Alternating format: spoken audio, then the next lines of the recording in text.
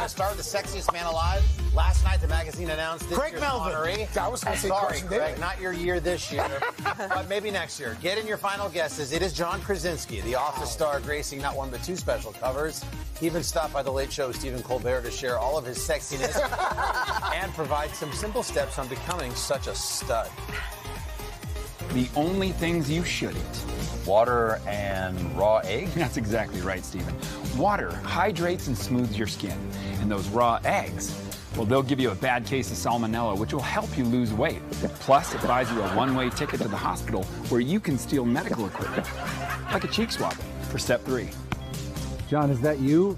Where am I? I feel hot. Do you have a fever? No, I mean, I feel Hot. Stephen, you look amazing. I feel amazing.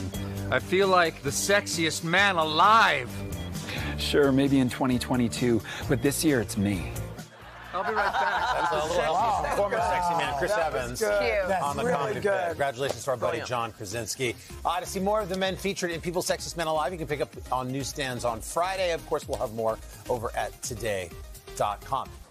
Hey, thanks for watching. Don't miss the Today Show every weekday at 11 a.m. Eastern, 8 Pacific on our streaming channel, Today All Day. To watch, head to today.com slash all day or click the link right here.